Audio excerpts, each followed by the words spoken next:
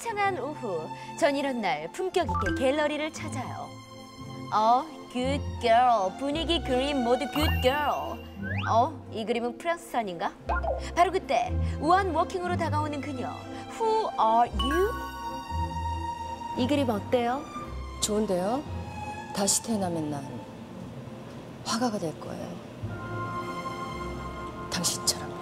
음, 전 더 이상 상류층이 아니에요. 제 스스로 거기서 내려왔거든요. 어디에서요? 여기서요. 이렇게, 이렇게.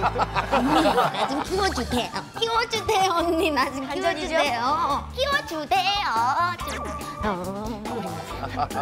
이렇게 키워주셨어요. 어. 역시 이 언니 센스 만점. 옷색깔처럼 너무 정말 핫한 언니 김선아 씨입니다. 품이 있는 그녀를 만나기 위해서 제가 스스로 내려왔습니다. 우리 김선아 씨.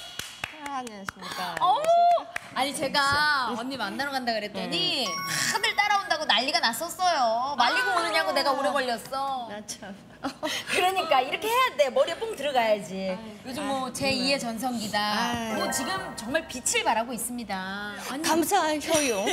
감사해요. 복자가 나왔다. 예.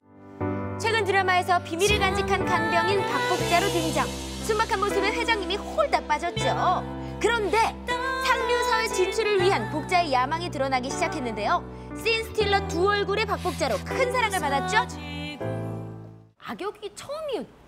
어떻게 보면 악역인데 이제 뭐 악역이라고 생각을 안 하고 사실은 이제 그렇죠. 뭐 촬영을 예, 그렇게 해서. 뻔뻔스러울 수가 없더라고.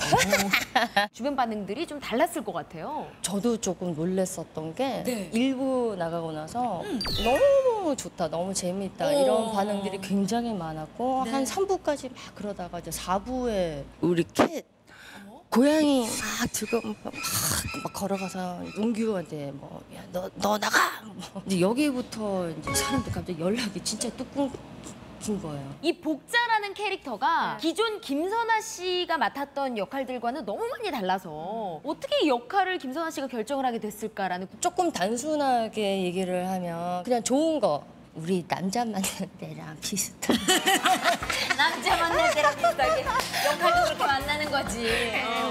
어, 뭐 어떻게 보면 약간 뭐나또 이상한 얘기 하면 안 되는데 아니야, 아니야. 오늘 또 이상한 데를 꽂혀서 또, 또 이상한 얘기 하는 거 아니야 아 이해가 쏙쏙 되면 좋은데 왜 그래요? 그러니까 저 사실 감독님 너무너무 만나 뵙고 다시 꼭 하고 싶었었고 그게 이제 12년 만에 김삼순 이후로. 예, 그래서 또 하고 싶었던 것도 있었어요